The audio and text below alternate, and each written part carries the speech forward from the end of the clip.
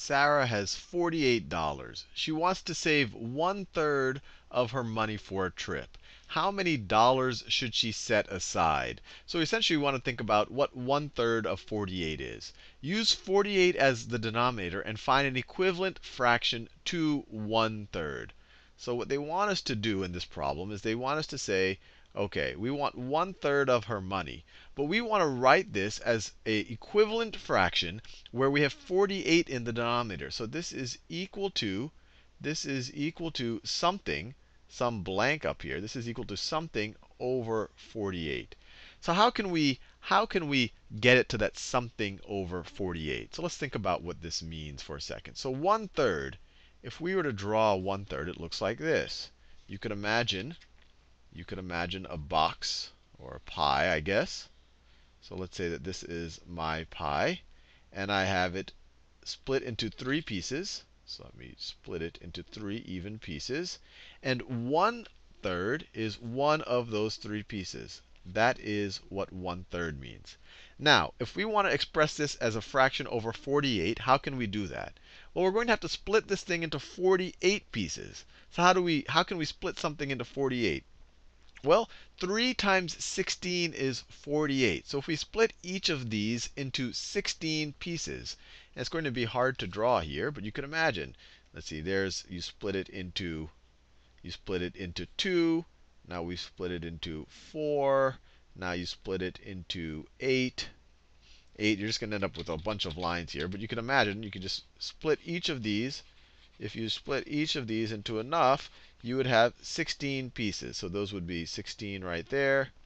You would have 16 right there. And you would have 16 right there. And I could just keep doing it. Let me do it in the green over here. So if we just kept splitting it up, we would get 48. Because you have this first third would be 16 pieces, the second third would be 16, and then this third third would be 16 pieces. Altogether, you would have 48 pieces. Now that one third, what does that represent? Well, that's that that represents 16 of the 48. It represents these 16 right here it represents these 16 right there. So 1 over 3 is the exact same thing. So 1 over 3, 1 over 3 is the exact same thing as 16 over 48.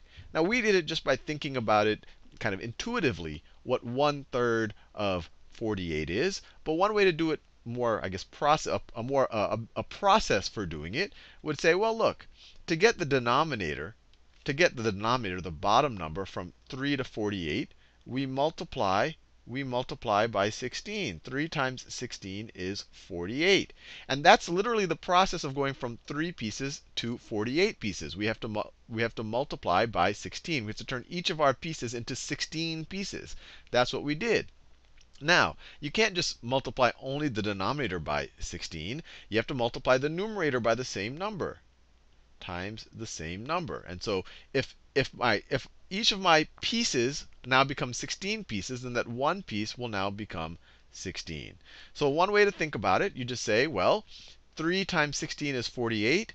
So 1 times 16 will be my new numerator. So it'll be 16. So 1 third is equal to 16 over 48. And another way you could think about it, which you'll learn in more detail later on, is we want 1 third we want one third of 48, right? That's how much she wants to save. One third of 48 is equal to one third times 48. And when you multiply, let me write it like this. One third times 48. And we could rewrite 48 as a fraction 48 over 1. It literally represents 48 wholes. And when you multiply fractions, you can just multiply the numerators. So this is equal to 48 over, and then you just multiply the denominators. 48 thirds. 1 times 48 is 48. And we'll see this in more detail in the future. Don't worry about it if it confuses you. The denominator 3 times 1 is 3. And 48 divided by 3, or 48 thirds, is equal to 16. So 1 third of 48 is 16, or 16 over 48 is 1 third. Hopefully that makes sense to you.